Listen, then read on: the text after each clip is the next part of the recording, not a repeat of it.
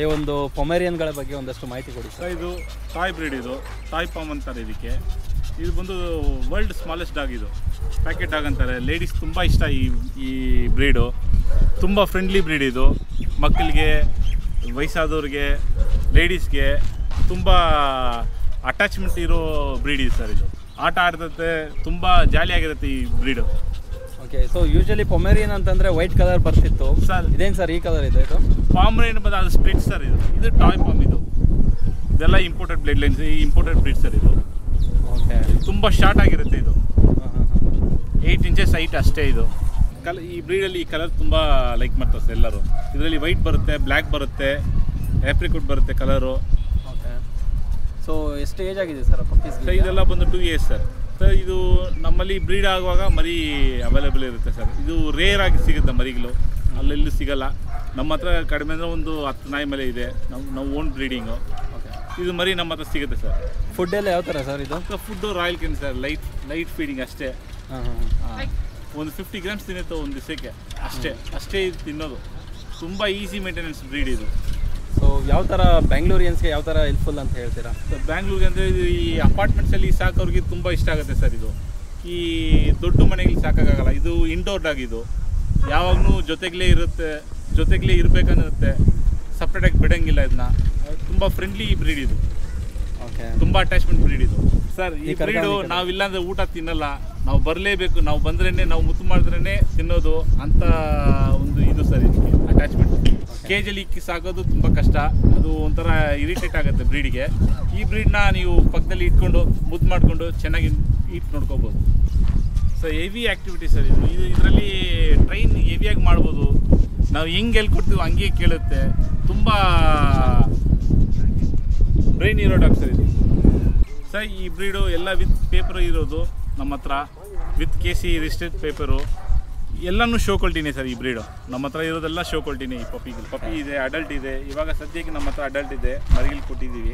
Price ಎಲ್ಲ ಯಾವ ರೇಂಜಿಗೆ ಸಿಗುತ್ತೆ ಸರ್ ಇದು? ಸರ್ ಇದು ನಿಮಗೆ ಒಂದು ಮರಿ ನಿಮಗೆ ಒಂದು ಫಿಫ್ಟಿ ತೌಸಂಡ್ ಸ್ಟಾರ್ಟ್ ಆಗುತ್ತೆ. ಐವತ್ತು ಸಾವಿರ. ಈ ಇನ್ನು ಸ್ವಲ್ಪ ಕ್ವಾಲಿಟಿ ಕಡಿಮೆ ಅಂದರೆ ಕಡಿಮೆ ರೇಟ್ ಸಿಗುತ್ತೆ. ಆದರೆ ಕ್ವಾಲಿಟಿ ಹೋದರೆ ಕ್ವಾಲಿಟಿ ಅಂತ ಬಂದರೆ ಇದು ಇದೆ ಫಸ್ಟ್ ಕ್ವಾಲಿಟಿ ಸೊ ಇದರಲ್ಲಿ ಯಾವುದಾದ್ರೂ ಶೆಡ್ಡಿಂಗ್ ಪ್ರಾಬ್ಲಮ್ ಏನಾದ್ರು ಬರುತ್ತೆ ಅಂತ ಇದರಲ್ಲಿ ಶೆಡ್ಡಿಂಗ್ ಪ್ರಾಬ್ಲಮ್ ಕಾಮನ್ ಇದು. ಅದು ಅಷ್ಟೊಂದು ಶೆಡ್ಡಿಂಗ್ ಅದು ಹೆವಿ ಶೆಡ್ಡಿಂಗ್ ಎಲ್ಲ ಆಗಲ್ಲ.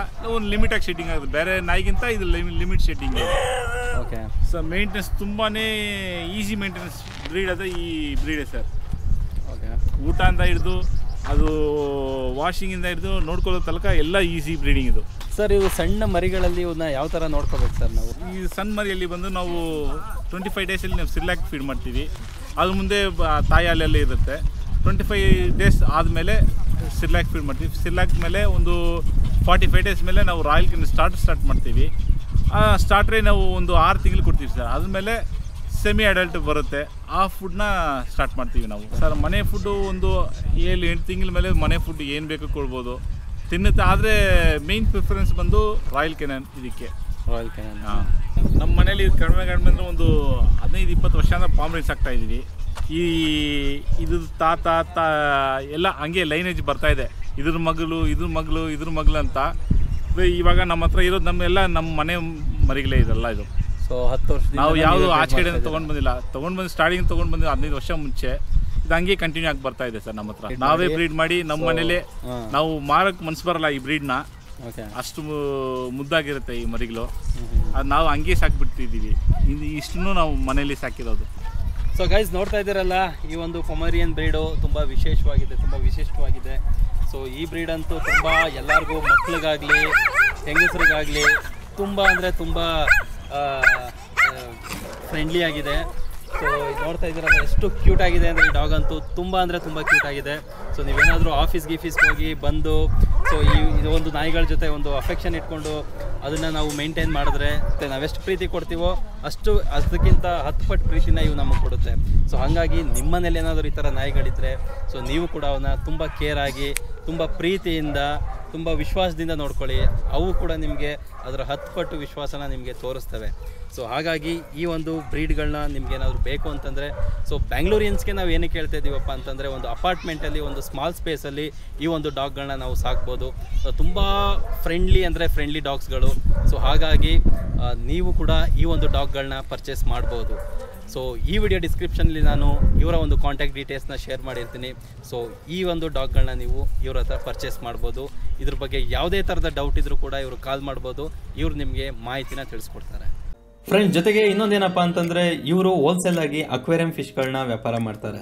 ನೀವೇನೀಗ ನೋಡ್ತಾ ಇದ್ದೀರಾ, ಈ ಥರ ಟ್ಯಾಂಕರ್ಗಳಿಂದ ಅಕ್ವೇರಿಯಂ ಫಿಶ್ಗಳನ್ನು ಚೆನ್ನೈಯಿಂದ ಇಂಪೋರ್ಟ್ ಮಾಡ್ಕೋತಾರೆ. ಸೊ ಇದನ್ನು ಹೋಲ್ಸೇಲ್ ಆಗಿ ಬೆಂಗಳೂರಲ್ಲಿ ಎಲ್ಲ ಕಡೆ ಡಿಸ್ಟ್ರಿಬ್ಯೂಟ್ ಮಾಡ್ತಾರೆ. ಸೊ ನಿಮಗೇನಾದರೂ ಹೋಲ್ಸೇಲ್ ಆಗಿ ಅಕ್ವೇರಿಯಂ ಫಿಶ್ಗಳು ಬೇಕಾಗಿದ್ದರೆ ಸೊ ನೀವು ಇವ್ರನ್ನ ಕಾಂಟ್ಯಾಕ್ಟ್ ಮಾಡ್ಬೋದು.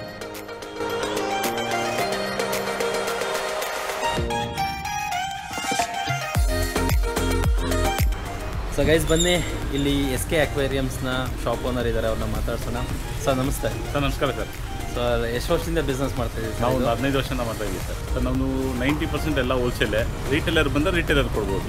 ಎಷ್ಟು ವೆರೈಟಿ ಫಿಶಸ್ ಸಿಗುತ್ತೆ ಸರ್ ಸರ್ ನಮ್ಮ ಹತ್ರ ಬಂದು ನೂರಿಂದ ನೂರೈವತ್ತು ವೆರೈಟಿ ಮೇಲೆ ಸಿಗುತ್ತೆ ಸರ್ ಪ್ರತಿ ವಾರ ಟ್ಯೂಸ್ಡೇ ಟ್ಯೂಸ್ಡೇ ಸಿಗುತ್ತೆ ನಿಮಗೆ. ಎಲ್ಲ ಫಿಶಸ್ ಅವೈಲೇಬಲ್ ಇದೆ. ಟೆಟ್ರಾಸ್ ಇದೆ ಪ್ಲಾನ್ಸ್ ಇದೆ.